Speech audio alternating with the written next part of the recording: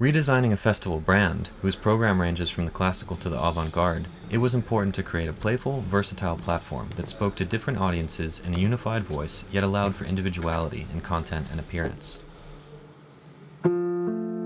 Looking to bridge musical and visual language, we started with what they both had in common being constructed from a single fundamental element, a note and a pixel. Using the singular element to build the iconic F logo, much in the same way a chord is constructed of various notes, we were able to establish a mathematical system, a system that allows the logo to grow, subdivide, and rhythmically repeat like musical units creating a beat or tempo.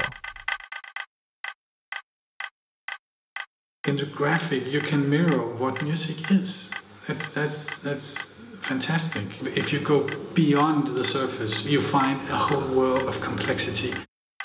I was very happy when we when we uh, uh, finally uh, found the F, so to speak, because it is sometimes the most simple solution is the best. You really need to make a shock to make this old festival alive.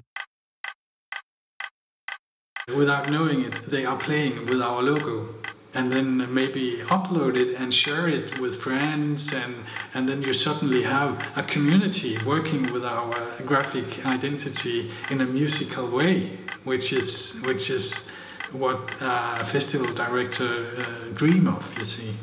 From now on it's really interesting because now you, you can uh, the, the, the audience the city knows about this they know that oh this is this is the identity of the, uh, the festival. But if you go deeper into it, it it has a world of possibilities